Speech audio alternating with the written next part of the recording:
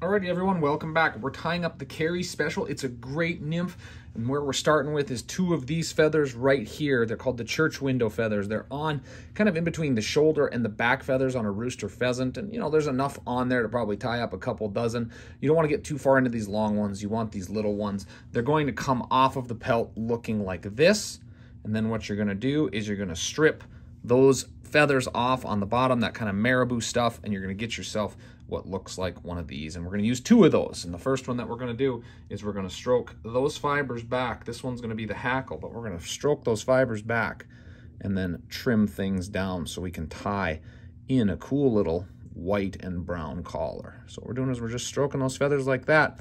Then we'll tie it in by the tip when we are ready. So let's get started. We've got our hook in the vise. We're going to make an underbody of peacock herl. Again, pheasant and peacock herl is a killer combo out there, but this one's a little bit different. It's not your standard pheasant tail nymph. We'll get our thread started. Thread is 6-aught black. We're on a 12 nymph hook right now. And it gives us a good standard canvas to make our creation. So let's get things started by getting that thread set. Now, I'm going to take that first church window feather that we had, and we're going to strip fibers off one side to form the table and a tail. And I like to have a little bit of white in there. I like that because it adds a little contrast. What we're going to do is we're going to put it right about there. So we're going about, about three quarters of the way, three quarters of the length of the hook shank for our tail. And we're just going to tie the nubs in like that. Doesn't make a big difference, but we got a little bit of white there. I'm trying to hang on to that. See there? A little cream in the mix just a little spot that folks can key in on, those fish can key in on when they're hungry. So there, we got our tail locked in. We're going to take two peacock herls, and they are going to form our body. So I like to grab two longer ones. Easier to control. Take our scissors and trim it off nice and even there. So we got two, two that have locked that we can lock in. Going to tie that down right here. All the way up, all the way back, and up once more right about there, about a hook, it, hook eye and a half back from our hook eye position.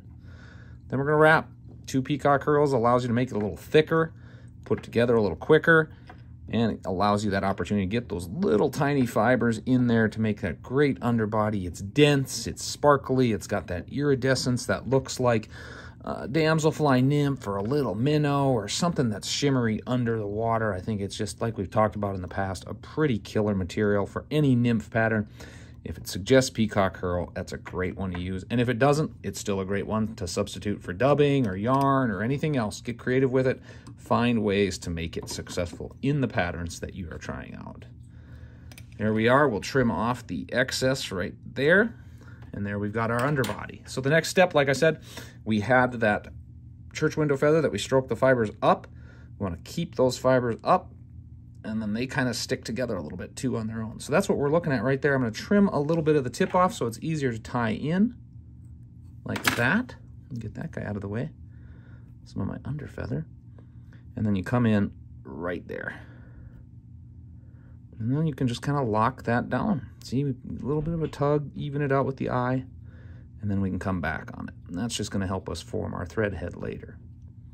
Okay, so we've got that. We're going to take a couple trips around trying to keep the fibers pointing backwards as best we can, but if we get a few that kind of switch on us and go the other way, that's fine too. See how we're starting to build that? Keep it inside the thread here, hopefully. Yep, there we go. And like I said, some are going to point forward. It's all right. We're going to wrap it enough. We're going to break them up a little bit, give, us, give them a little flick, and they'll kind of separate. And then what we'll do is we'll work our thread up through the feather and tie it down like so.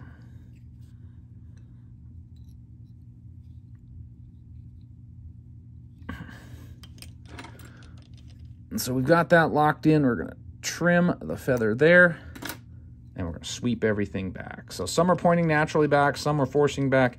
It gives it kind of a cool texture, uh, kind of a neat hackling look. But in the end, you're going to get that great white collar with a solid finish, making a, a seamless transition into the tail.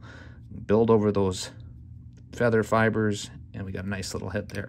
As you can see, we got that cool, see how the fit, they go boom, they come right in. So when it's pulsing through the water, you got a pretty contiguous looking uh, set of feathers there right into the tail. So there our head's built. We're gonna take our whip finisher, go in, take it around a couple, three times and lock it down. And there we are. That's three, up she goes. And there it is, the Carey Special. Solid pheasant fly. Some great color, some great texture, and some great body materials. Tie a bunch up, get out there and pulse them through the water. Use a sinking line, use a floating line, and I'm guarantee you're going to catch those trout and bluegills all summer long. Have fun with it, sub those materials in, but remember that peacock herl is a killer one for the underbody.